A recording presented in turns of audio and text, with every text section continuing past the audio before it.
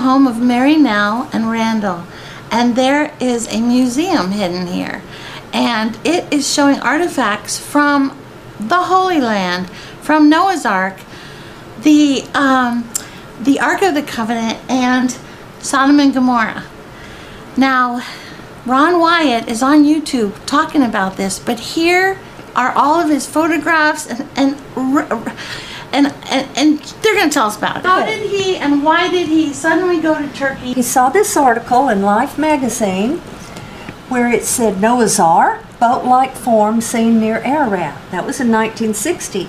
And they took these pictures because they were looking for missile bases, the military was during the Cold War. And they said this is not a natural object. So, a group of archaeologists and researchers went out there in 1960 and they blew holes in it with dynamite, but they came away with the conclusion that there was nothing there of any archaeological interest. But he believed they might be wrong because, like I was telling you earlier, Vicki, he knew that Moses had written the book of Genesis, and the book of Genesis said, gave us the measurements of the ark. 300 royal Egyptian cubits. And the article said it was close to 500, about 500 feet. So he wanted to check it out. And when he finally measured it, it was 515 feet, exactly 300 royal Egyptian cubits. That attracted his attention. And he was an anesthesiologist who spent his hard earned uh, personal money to go over there with his sons mm-hmm. and to start poking around. And a lot of people thought Noah's Ark was on Mount Ararat, mm-hmm. but Ron had uh, a theory that was different. When Ron first went there, the ark it was even with the ground. It you know the sides were pushed up a bit, but it looked like this. And Ron came home and got some of his friends to pray for an earthquake out there because he said, This is so big, and how am I going to be able to even tell what it is? So, excuse me, they prayed for it. Here's before the earthquake, here's after. It dropped the soil around the sides, and what Ron saw was he believed these were rib timbers which led him to conclude that Noah probably cannibalized the ship for wood for a number of years. What is this that he found right there? Okay. When Ron first went out there, before he ever saw the ark, he found this village with all of these looked like tombstones in them. And as he got close to them, he realized that they had a hole at the top of them and that they were all pretty much the same size. They were all um, about 10 foot tall. They were different shapes, but they had a hole, and the hole was scooped out in the middle, and he immediately thought these were drogue stones. Noah's Ark was a fleet, free floating object. It did not need an anchor stone, but by using drogue stones on it, they would hold the nose into the waves, and the ones on the side would keep it from doing this. So he found those first, and they are in a line many miles away from the ark. In the Bible, it says that that the Noah's Ark landed on the mountains, plural, in the of Ararat. Yeah. In the mountains, plural, Of not on Mount Ararat. Ararat. And so one. we're 15 miles away from Mount Ararat on the mountains of Ararat. Okay, thank you for clearing mm-hmm. that up because I, oh, you know, the Bible, whatever the Bible says. This is 8-4 is Yeah. where we find that. Yeah. Meanwhile, what was his second thing he discovered? Okay, uh, after he went to Noah's Ark and discovered that there wasn't much he could do, he came back home, and the next year, that, at that time, Yeah. he and the boys packed up and they flew to Israel, and they uh, drove all the way down to the end of Israel to the tip of the Gulf of Aqaba, and hired a pilot to fly them down the Gulf of Aqaba to see if he could find where the crossing of the Red Sea took place. This is Canaan, right here, you know, uh, Israel.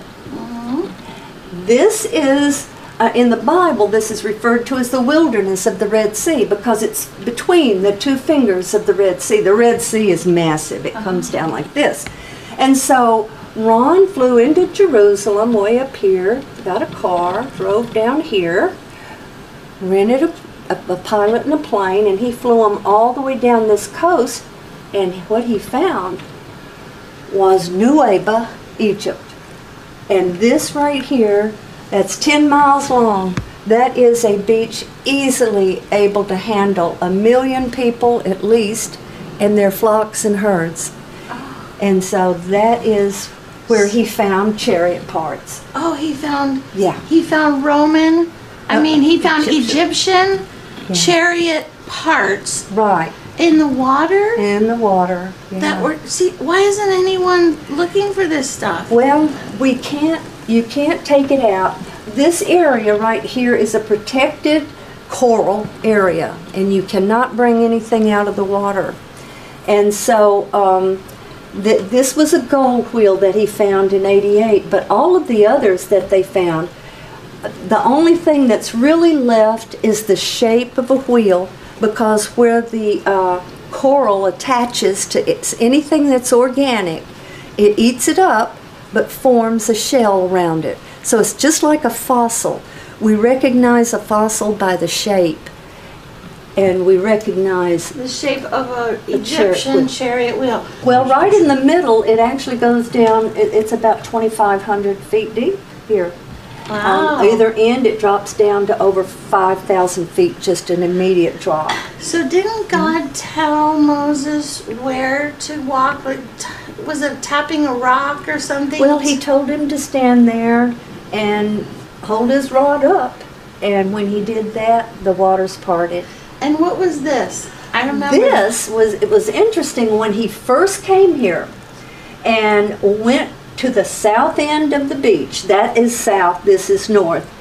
He found this column lying in the water and he told the Israeli police or um, maybe it was army about the column and they immediately moved it across the road out of the way and preserved it. And what he later found was one on the opposite shore in Saudi Arabia.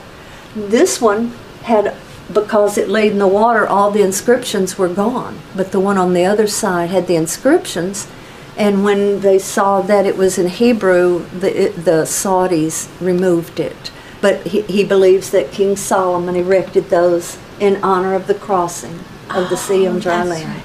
Yeah. So he believes King Solomon erected these as this is the spot This is the spot. where Yes. God parted the Red Sea. That's what it said on the Saudi side. Well, that's what it said. The, in the writing, the Hebrew. Hebrew writing on the other pillar.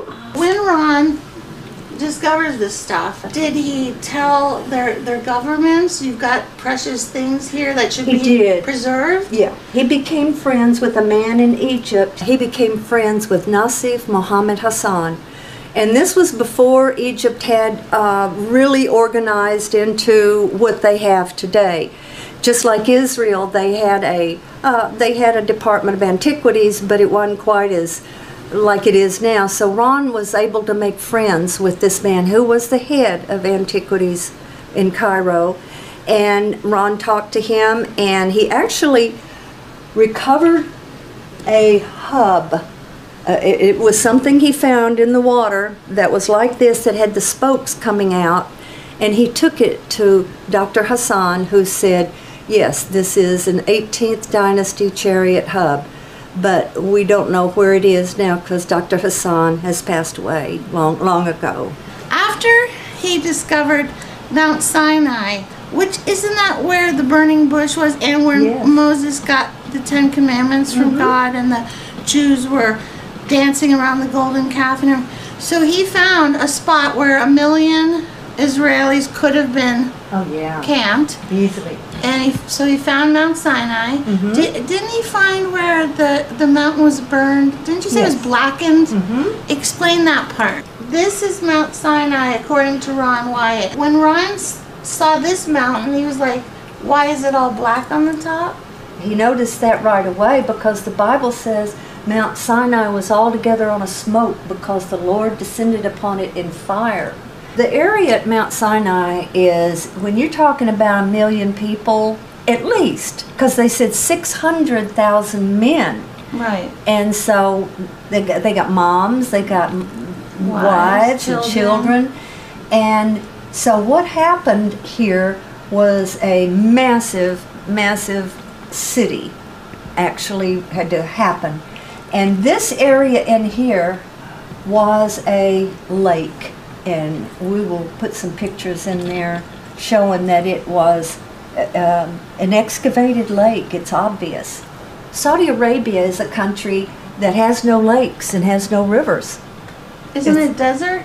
It's, it's pretty much wilderness. So how would you get water to a million people? Right. What God did, it taught, the Bible talks about the brook that descended from the mount. And it came from up there, came down the mountain, and came into here, and they dug out this massive lake right in, in here, very large lake. And they built wells around the edges. And there's an overflow down here. There's um, an, uh, uh, what, do you, what would you call Spillway. that? A spillway. And water went out, and there was a place for the animals to, because they, they put their feet lake in the water. Past you the spillway that was about Okay. ten It- feet deep, and the, the real lake was twenty to thirty feet deep. What's your conclusion of all of this? Do, did you, do, why did God let Ron find all this? Was it because the Bible says, "Seeking you shall find"? Was uh, tell us, tell us your your feelings about this whole thing. He believed that it was for this time because God is going to do everything that He can to offer us salvation. He is not going to let one soul lose their eternal life because they didn't have the opportunity. And that's what Ron believed. And I believe that too.